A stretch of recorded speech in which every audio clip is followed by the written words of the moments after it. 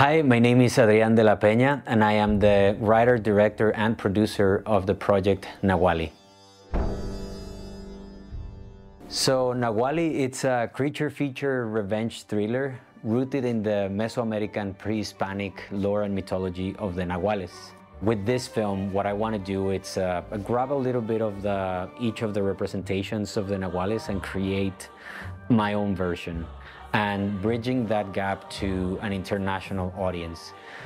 Because horror genre allows us to get to know other cultures.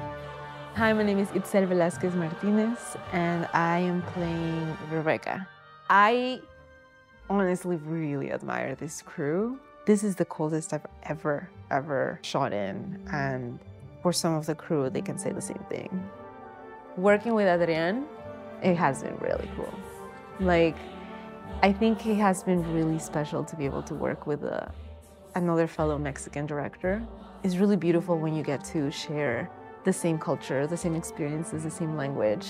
The fact that he wrote this script touches a bit on our culture is bringing it here to North America. I think we need more stories like that. I am super excited that I get to be a part of it. Oh, man. This is insane. Yeah. yeah, and working with Adrian has been really fun. He's so open to ideas, and it's great to have a director that's open to ideas but does have a vision. So he molds ideas that you give him into his vision. Yeah, Naualli's a, a clever play on, on the genre this story in itself is more about how all of these characters are navigating trauma and how they are overcoming that trauma.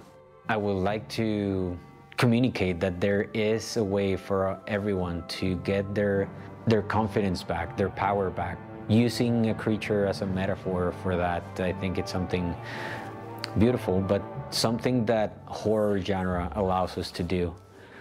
And uh, adding depth into these deeper emotions and deeper connections. I want the viewer to take away, if they just watch this five minute short, to be surprised, scared, emotionally connected with it,